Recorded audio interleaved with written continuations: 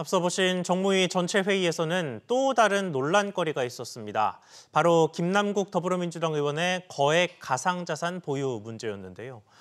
가상자산 보유의 배경을 둘러싸고 추궁과 맹공이 쏟아지기도 했는데 무엇보다 이번 사태의 원인 중 하나였던 재산 공개 범위에도 변화가 예고됐습니다. 김기송 기자. 네, 김기송입니다. 네, 그러니까 앞으로 법을 고치겠다는 거죠. 네, 그렇습니다. 국회의원을 포함한 고위공직자의 재산 신고 공개 대상에 가상자산을 포함하도록 하는 내용을 담고 있는 법안인데요.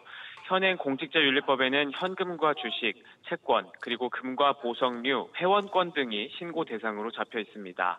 가상자산은 그동안 포함되지 않았습니다.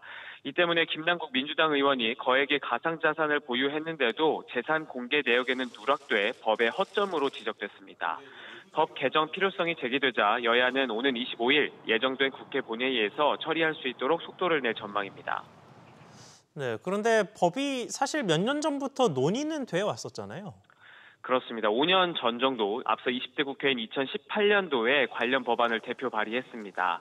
예금과 주식 등과 같이 마찬가지로 천만 원 이상의 가상 자산을 재산 등록 대상에 포함하는 공직자윤리법 개정안을 대표 발의했었는데요.